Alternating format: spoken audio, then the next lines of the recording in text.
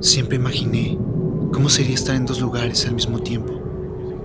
Ahora, ahora solo me gustaría poder vivir un momento sin sentir el miedo de que tarde o temprano desaparecerá.